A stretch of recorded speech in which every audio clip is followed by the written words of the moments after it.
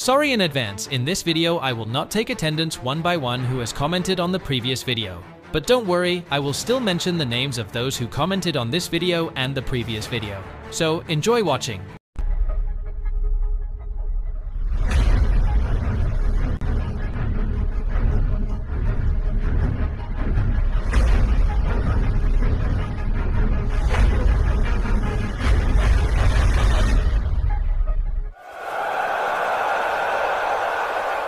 Will discuss the exciting match between Chelsea and KAA Gent in the Europa Conference League. Let's take a look at the team conditions, tactics, and predicted results. Chelsea will start their Europa Conference League campaign at Stamford Bridge against KAA Gent. Enzo Maresca's side come into this game with confidence after a 4-2 win over Brighton in the Premier League. Enzo Maresca is expected to rotate his squad for this match, Cole Palmer is not included in the squad for this competition, so the attack will most likely be led by Christopher Nkunku, Pedro Neto, and Joao Felix, supported by Mykhailo Mudryk. Reece James is the only player who is absent due to injury, while Romeo Lavia has just returned after a six-game absence. Chelsea are likely to play with a 4-2-3-1 formation. Filip Jorgensen will be in goal, with Josh Acheampong, Axel Disasi, Benoit Badiashile, and Renato Veiga in the back line. Romeo Lavia and Kiernan Dewsbury Hall will be the playmakers in midfield, while the attack will be filled by Mudryk, Joao Felix, and Neto, with Nkunku as a striker. Meanwhile, Gent will likely use a 3-4-3 formation, with Davy Roef in goal. Stefan Mitrovic, Tsuyoshi Watanabe, and Jordan Torunarigha will be the defenders, while Noah Fadiga, Atsuki Ito, Matthias Delorge, and Archie Brown will make up the midfield. Omri Gandelman and Max Dean will be the threats up front. We predict Chelsea will win 3-1 against KAA Gent. Although Gent have experience in Europe, Chelsea's strength and current form make them the favourites in this match. What are your predictions for this match? Leave a comment below. Today, we look at Chelsea's match against Gent in their UEFA Europa Conference League opener. Let's take a look at the team's form and what coach Enzo Maresca has to say. Chelsea are in good shape ahead of the game, with almost all of their players available except for one, captain Reece James. Reece James, 24, has struggled with injuries in recent seasons. He has yet to feature for Chelsea this season after suffering a hamstring injury. Despite taking part in the pre-season tour of the US, James has again been ruled out. Maresca confirmed that James is the only player who will miss out, explaining, they are all available except for those who are not in the Conference League squad, and Reece is not available.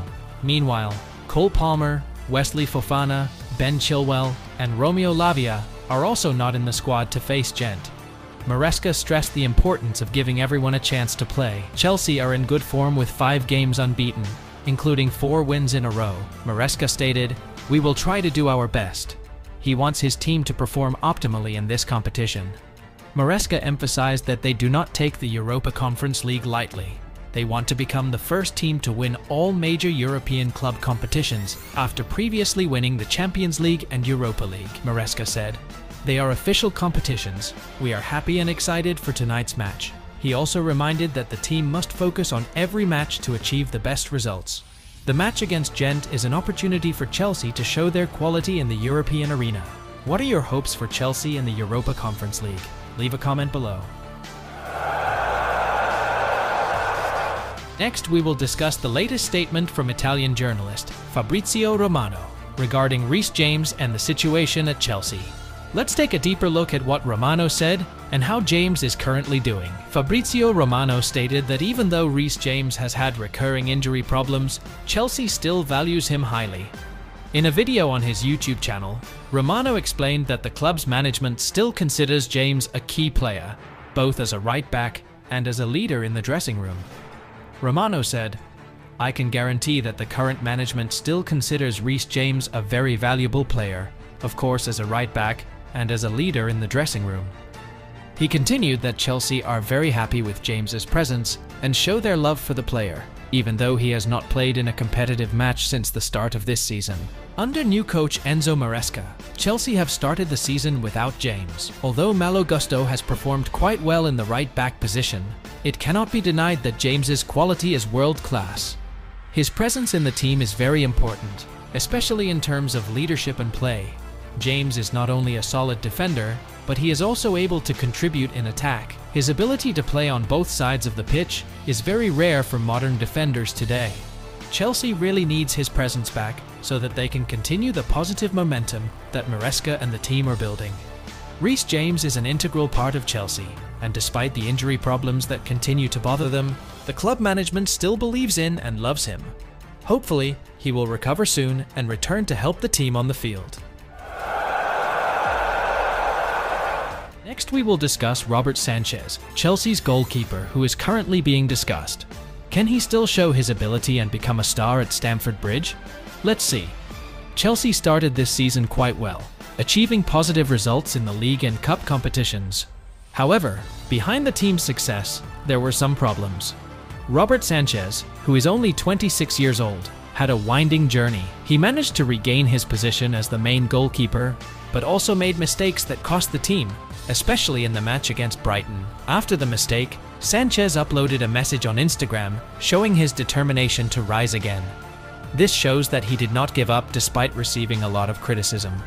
Football expert Andy Townsend defended Sanchez despite the criticism directed at him. He argued that Sanchez has great potential to become a reliable goalkeeper if he can reduce mistakes. Townsend called Sanchez a goalkeeper with a big profile and good shot-saving ability. However, there are concerns about his ball distribution and decision-making abilities that need to be improved. While Chelsea need to keep Sanchez as the main goalkeeper to see if his performance can be stable, they also have to think about the future. Filip Jorgensen, a young 22-year-old goalkeeper, should be given a chance to play in all cup games. This will give him valuable experience and tell whether he can replace Sanchez in the future. Chelsea must realize that they need a world-class goalkeeper in the long term. Whether Robert Sanchez can live up to that expectation is still a question mark. What do you think about Robert Sanchez? Can he be Chelsea's main goalkeeper? Leave a comment below. Next, we will discuss the surprising statement from John Obi Mikel regarding the performance of Chelsea goalkeeper Robert Sanchez and how this could affect Chelsea's chances in the Premier League title race. Let's take a look. In the match against Brighton, Sanchez made several costly errors that led to two goals from the opponent. He failed to anticipate a high ball towards Georginio Rutter and gave the ball easily to Carlos Baleba, who took the opportunity. Obi Mikel, who has won two league titles with Chelsea, expressed his concerns about Sanchez. He stated that the Spanish goalkeeper could be a hindrance to Chelsea's ambitions to become a champion. Obi Mikel believes that in order to become a champion team, Chelsea need a better goalkeeper. Although admitting that Sanchez is a fantastic goalkeeper, he stressed the importance of having a more stable and reliable goalkeeper. Mikel asserted, if he wants to be a top goalkeeper, he needs to show better performances. He also mentioned that Sanchez is not good at controlling the ball, which can be a problem in the modern game. Despite the criticism pouring in for Sanchez, coach Enzo Maresca still gave his support. He said Sanchez's mistake was also part of the team's overall mistake and did not want to add pressure to Jorgensen. Chelsea need to evaluate their goalkeeping situation if they are to compete for the Premier League title. Can Robert Sanchez improve his performance? What do you think of Chelsea's current goalkeepers? Is Sanchez worth keeping, or is it time to replace him? Leave a comment below.